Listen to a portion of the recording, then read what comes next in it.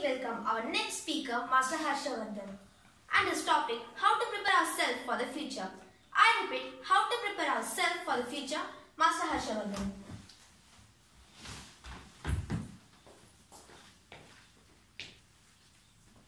Am I audible at the back? Yes. Yes. My topic is how to prepare ourselves for the future.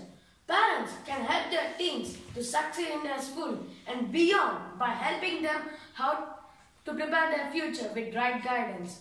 Good morning to one and all. Good morning. I'm Harshvardhan from class 6 going to discuss about a simple question which always strikes my mind.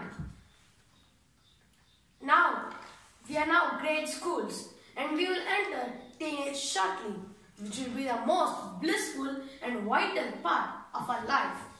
Aside from enjoyment, every teenager has to come across the question thrown by the society, which will, this would be none other than what you want to become in future.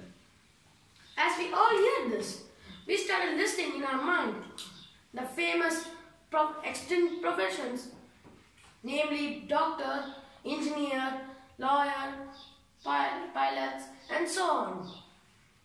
Do you know that these professions will extend in future? The answer to you will be shocking.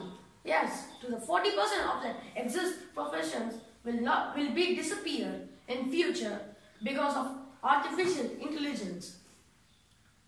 Doctor and engineers can be replaced by a single machine called robots. Let us take an example. When email was introduced, all of us thought it was an advanced means of communication, but SMS replaced it. When smartphones was introduced, which replaced PCs and laptops. Future is all about two letter words, AI, which is going to rule the world. Hence, instead of thinking what you want to become in future, we have to prepare ourselves what you want, how to contribute to the world. This will make us think what is my future going to be.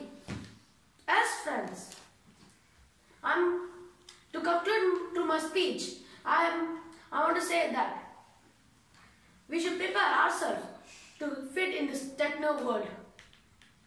Create your future by thinking the way you need and you will create your life. Thank you.